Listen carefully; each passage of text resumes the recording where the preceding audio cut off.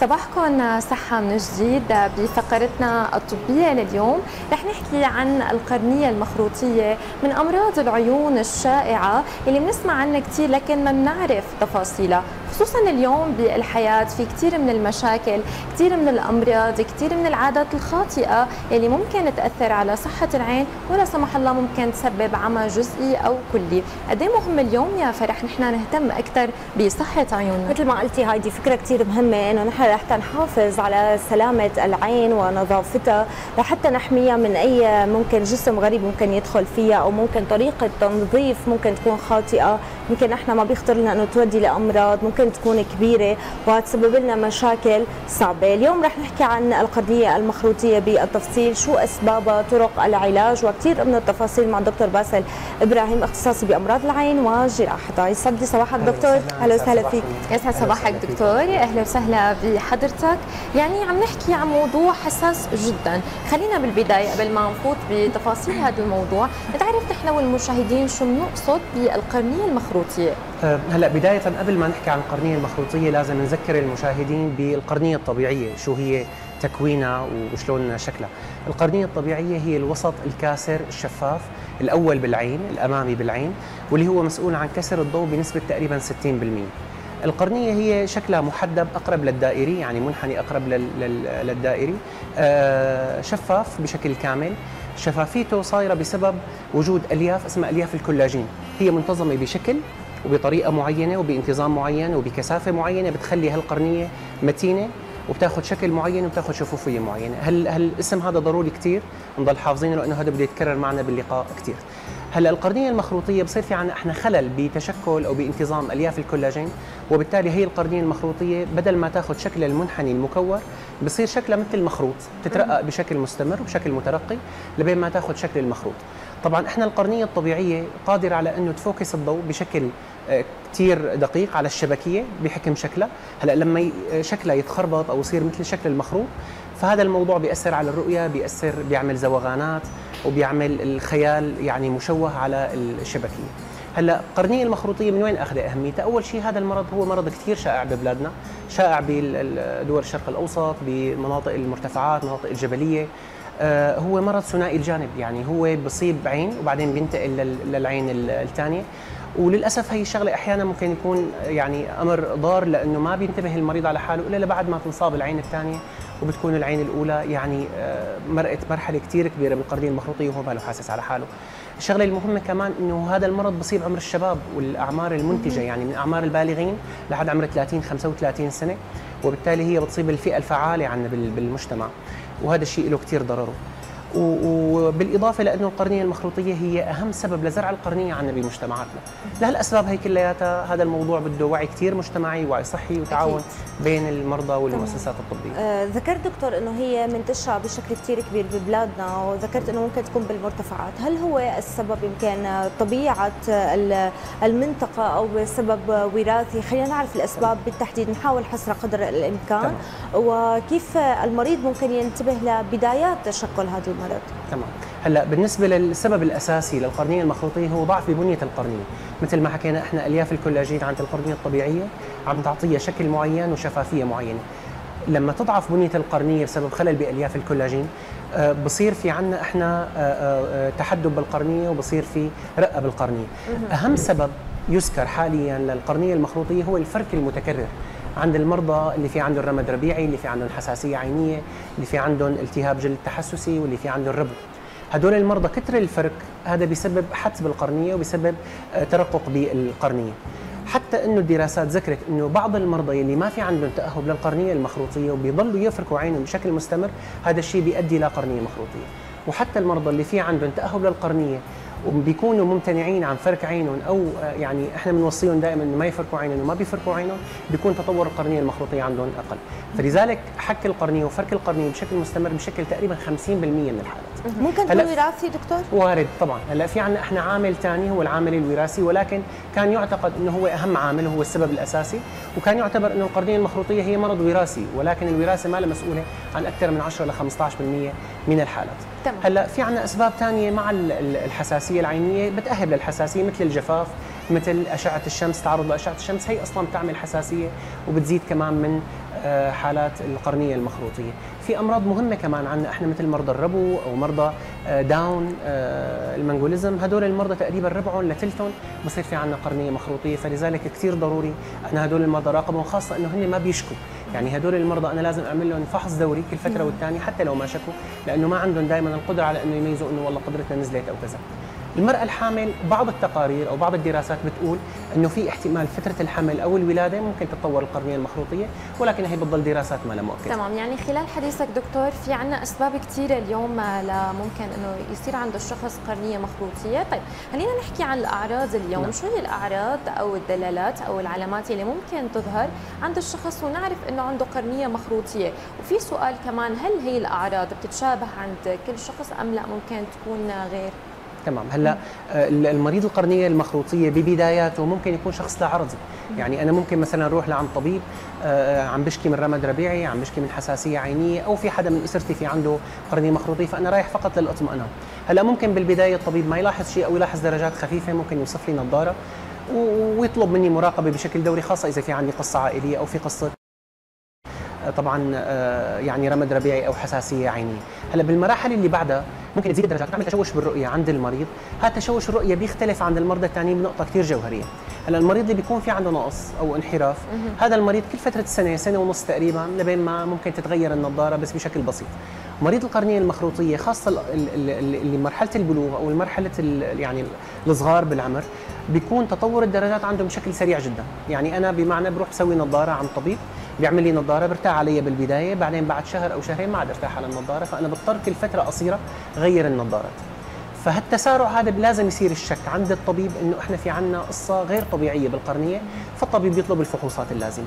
هلأ في عنا أعراض ثانية اللي هي الزوغانات أنا ما بشوف الشكل بشكل يعني الجسم بشكل دقيق آه، بشوف آه، آه، هالات حول الضوء. في شغلة كثير مميزة بالقرنية المخروطية هي شفع بعين واحدة شفع يعني ازدواجية الرؤية بعين واحدة يعني أنا مجرد ما أسكر العين المنيحة العين الثانية السيئة اللي أنا عم بشكي منها بلاقي إنه الجسم ما له مشوه بلاقي الجسم واضح ولكن في جنبه جسم ثاني أو خيال ثاني. فهذا الشفع كمان بصير الشك بالقرنية المخروطية. طبعا الأعراض بتزداد بشكل تدريجي لتعمل حساسية للضوء بتعمل انزعاج من الضوء والقيادة الليلية. وبالاخير ممكن إذا المريض كثير كان مهمل بحاله وما كثير انتبه للموضوع ممكن الموضوع يؤدي لترقق القرنية بشكل كثير كبير وممكن يعمل ندبة بالقرنية أو كثافه بالقرنية وفقد برؤية بشكل جزئي أو كامل. يعني عم نحكي دكتور عن يعني خطر كبير إنه نحن نفقد الرؤية إن كان بشكل كلي أو حتى بشكل جزئي، صحيح. اليوم إذا بدنا نحكي عن العلاج لحتى يمكن ما نوصل لهي الدرجة المؤذية للمريض، نعم. شو ممكن يكون العلاج من المراحل البسيطة إلى المراحل المتقدمة؟ تمام. هلا آه، بمجرد ما إنه أنا كطبيب شكيت إنه في عندي أنا قرنية مخروطية خاصة عند المرضى المؤهبين بشكل كثير كبير أنا بطلب مباشرة التشخيص الذهبي للقرنية المخروطية هو تصوير طبوغرافيا القرنية. أنا بمجرد ما تأكدت إنه في عندي أنا قرنية مخروطية عند المريض مباشرة أنا من خلال عمره بيكون العلاج. هلا إذا كان العمر صغير بأعمار البالغين بال 12 سنة 13 سنة لحد عمر ال 20 في عندنا إجراء متفق عليه عالميا مشان تثبيت القرنية المخروطية هو تصليب القرنية أو تثبيت القرنية الضوئي هذا المريض في عنده حلقة معيبة الدرجات رح تزيد وضعف القرنية رح يزيد وترقق القرنية رح يزيد. فأنا هون مباشرة بعمل وقف لهالحلقة المرضية عن طريق تثبيت القرنية. شو هو تثبيت القرنية؟ هو عبارة عن عملية بتتم تحت التخدير الموضعي آه للمريض. بعمل فيه أنا تشريب للفيتامين للقرنية. وبعدها بعرضها لاشعه فوق بنفسجيه بحيث إنه تعمل مثل تصليب أو ثباتيه لروابط الكولاجين عند هذا المريض. وبالتالي القرنية ما بقى تترقق القرنية بتضل محافظة على ثباتها والقرنيه بتضل محافظة على الدرجة اللي وصلت له يعني أنا ما عم صحح نظر ما عم بلغي درجات وإنما أنا عم ثبت الحالة مثل ما هي. طبعا هذا الموضوع كثير مفيد لما تكون القرنية المخروطية ببدايتها. يعني أنا المريض ببدايتها مثل ما قلنا إنه بجوز المريض يكون لا عرضي. ما عم بحس ابدا بتشوش بالرؤية ما في عنده غير ممكن درجات بسيطة ممكن تتعدل بالنظارة أو العدسة اللاصقة البسيطة. فأنا بهالحالة بكون خدمت المريض إنه ثبتت له الرؤية المجدية الرؤية المنيحة وبأقل خسائر عند هذا المريض. يعني هي العملية ما بدها استشفاء ما بدها تخدير عام ما بدها إقامة بالمشفى. بعد أسبوع المريض بيقدر يرجع لحياته الطبيعية. أكيد. هلأ المريض بعد فترة في حال أنا ما انتبهت له للمريض أو ما إجاني غير مرحله متقدمة أكثر إحنا العدسات العادية أو النظارات العادية ما بقى تفيده لأنه صار في عندنا نوع من الانحراف أو الحرج اسمه حرج مخالف للقاعدة أو حرج غير منتظم. هذا المريض ما بيكون مرتاح على النظارات فأنا بضطر أحط له شيء اسمه عدسات لاصقة. هلأ العدسات اللاصقة بالقرنية المخروطية المتوسطة لازم تكون عدسات لاصقة قاسية. شو الفرق بينه وبين العدسات اللاصقة التجميلية واللي إحنا بنحطها؟ القاسية هي بتغير تحدب القرنية، بتغير الوجه الأمامي للقرنية طول ما هي ملبوسة، فهي بتعطي أفضل رؤية لهذا المريض. ولكن مشكلتها مثل ما قلنا قبل شوي إنه القرنية المخروطية كثير شائعة عند الناس يلي في عندهم حساسية أو اللي في عندهم جفاف. وبالأصل هدول المرضى أصلا غير قادرين على إنه يتحملوا العدسات اللاصقة. تمام. فكثير من المرضى ما بيقدروا يتحملوا العدسات اللاصقة. نلجأ بقى لعلاج ثاني اسمه علاج دعامات القرنية أو الحلقات القرنيه في شيء اسمه زرع حلقات تمام زرع حلقات. هي عبارة عن قطعه بلاستيكية منحنية بتنزرع بمحيط القرنية. هدفها إنه القرنية إحنا مو حكينا إنه هي عم تتحدب مثل شكل المخروط. فهي هدفها تسطيح القرنية يعني معاكسة الآلية المرضية تمام؟ طبعا هي بتاخذ وقت لبين ما تعطي نتيجة بين تقريبا الشهرين وثلاث شهور أحيانا أكثر ولكن مشكلتها إنه ما بتعطي نفس الفعالية عند كل المرضى. يعني أنا مثلا مريض اللي في عنده نقص مثلا بعطيه نظاره أنا متأكد إنه رح يرتاح.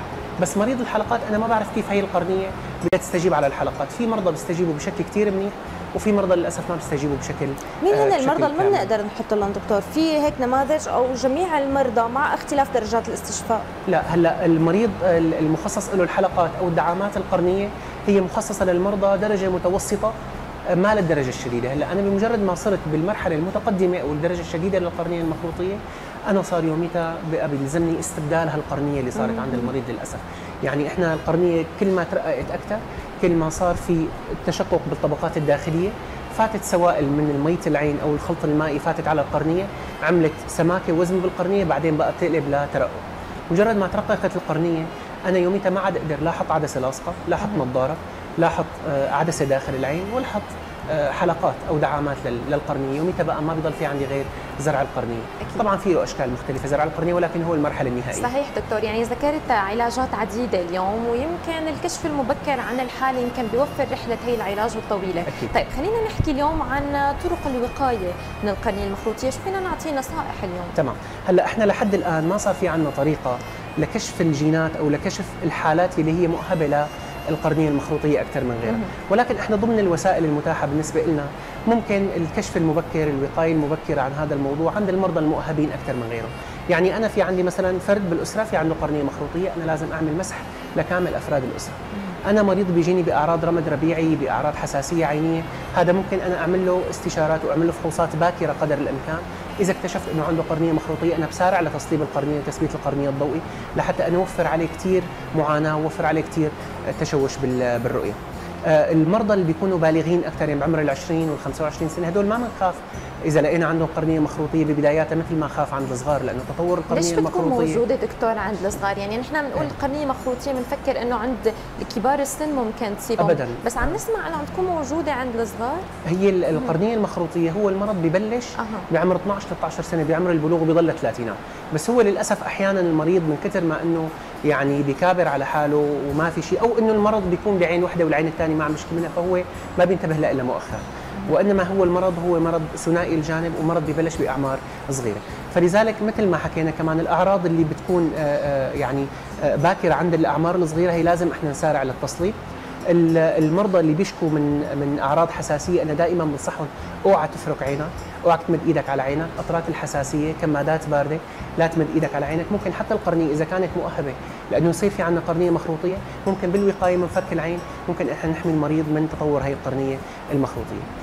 القرنيه مثل ما حكينا إحنا أهميتها بال يعني بال بال بالاخير اهميه كثير كبيره وهو مرض بصيب مثل ما حكينا إحنا الأعمار المنتجة بالمجتمع.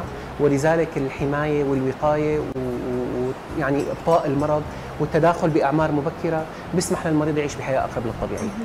اليوم دكتور بنسمع يعني هذه بين الصبايا بشكل خاص إنه أدوات المكياج أو التجميل الاستخدام صحيح. الخاطئ إلى يمكن التبادل بين الصبايا هذا نعم. الشيء اللي عم بيصير وحتى طرق التنظيف العين أحيانا اهمالها إهمال تنظيفها للعين هل ممكن يؤدي إلى قرنية مخروطية أو أمراض أخرى بالعين لا تقل خطورة عن القرنية المخروطية؟ تمام. هلأ التبادل باستخدام الأدوات الشخصية هلأ هو ما له مؤهب من مؤهبات القرنية المخروطيه ولكن هو للأمانة مؤهب من مؤهبات الانتان داخل العين. يعني ممكن يعمل لي أنا التهابات بالملتحمة ممكن يعمل لي قرحات بالقرنية ممكن يعمل لي التهابات بالأشفان. في في في كثير يعني آه، أمور آه، يعني بسبب انتقال العدوى أو انتقال الجراثيم بين مثلا عين تكون ملتهبة لعين ثانية ممكن استخدام الأدوات الشخصية بين شخص وآخر ممكن تعملها. ولكن هي ما لها من مؤهبات القرنية المخروطيه تمام. دكتور يعني في خلينا نقول في حال الشخص تأخر للجا للعلاج يلي ممكن يناسب حالته هون ممكن يحتاج مثلا يحصل على نتيجة مهمة بتصحيح البصر؟ يعني هو للامانه خلص فقد الأمل من الموضوع؟ هلأ هلأ هو للأمانة. بس أول فكرة إحنا بدنا نحكيها إنه مريض القرنية المخروطيه هو مريض مضاد استطباب لإجراء تصحيح البصر مم. سواء عن طريق الليزر أو عن طريق الليزك. هي الأمور أو هي الإجراءات تتطلب وجود قرنية طبيعية مشعراتها تكون مناسبة وما لها مريضة مثل مرض ممكن يحتاج أكثر من عملية؟ أكيد. هلأ أه. إحنا الفكرة مثل ما حكينا قبل شوي مريض القرنية المخروطية بأحسن الأحوال إحنا لما نحط له نظارة أو لما نحط له عدسة لاصقة أو لما نعمل له تصليب بالقرنية فهذا المريض صراحة إذا بدنا نعمل له إحنا تصحيح نظر فهذا بيحمل خطورة بالمستقبل. يعني مريض القرنية المخروطية إذا إحنا بدنا نعمل له تصحيح فهذا التصحيح هو بده يحط بباله واللي حواليه يحطوا بباله إنه ما له مثل تصحيح الليزر أو الليزك يعني أنا مريض قرنيته طبيعية كان في عنده مثلا ثلاث درجات نقص مثلا درجتين درجتين انحراف. عملت له تصحيح نظر بالليزر أو الليزك راحوا درجاته. ممكن يضلوا لفترة طويلة ممكن يضلوا طول العمر. مريض القرنية المخروطيه مختلف عن هذا الوضع. القرنية مريضة القرنية رقيقه القرنية حساسة. على يعني على أي آه، آه، إجراء راح يكون عليها. فلذلك أنا كثير بكون حذر عن مرضى القرنية المخروطية إنه أنا ما أعمل عملية إلا لتخدمه للمريض. ما دائما أنا بلحق المريض أو برغبة المريض إنه أنا بدي أصلح النظر لأنه أحيانا بتصحيح النظر عن مريض القرنية المخروطية ممكن يكون في اذى اذى له هلأ ايمت أنا ممكن أفكر بالليزر أو الليزك عن مرضى القرنية المخروطية؟ مريض عمل زرع قرنية مثلا بعد ما زرعنا القرنية إحنا طبعا زرع القرنية بضل المريض في قطب بين القرنية اللي إحنا زرعنا له إياها وبين السرير تبعه أو القرنية تبعه. هي القطب بنبلش نفكها إحنا بعد ست شهور لحد السنة تقريبا لبين ما تنفك كامل قطب القرنية. أنا بمجرد ما أنه اطمنت إنه القرنية أخذت مكانها استقرت أنا يوميتها ممكن أفكر على الدرجات اللي ضلت. ممكن أعمل ليزر أو ليزك. ليش؟ لأنه هي القرنية اللي أنا زرعتها هلا صارت قرنية طبيعية. نعم. يعني اخذتها أنا من مريض طبيعي وزرعت له إياها. أنا يوميتها ممكن بقى فكر بعدسات فكر بنظارات فكر بليزر أو ليزك أو فكر بخيارات بخيارات أخرى. ولكن إحنا دائما بدنا نكون حريصين جدا قبل ما نعمل أي عملية تصحيح نظر نعمل صورة للقرنية. وإذا في أي شك بوجود قرنية مخروطية أو مرض بالقرنية أو ترقق بالقرنية ما أستعجل ابدا أعمل عملية تصحيح نظر. ما اركض إنه أنا أصلح نظري لأنه ممكن يكون في عواقب لهالموضوع سلبية للأسف. أكيد. نعم يعني بالختام. دكتور حاولنا قدر الإمكان إنه آه، نحيط بتفاصيل الموضوع وبالأعراض وطرق العلاج. نتمنى أكيد يعيد الصحة والسلامة لجميع المرضى. وبدنا نشكر وجودك معنا لليوم. دكتور باسل إبراهيم شكرا. أنا بتشكركم كثير على اللقاء. وشكرا جزيلا لكم. أهلا وسهلا فيك نورتنا بتشكركم جدا يعطيكم العافية.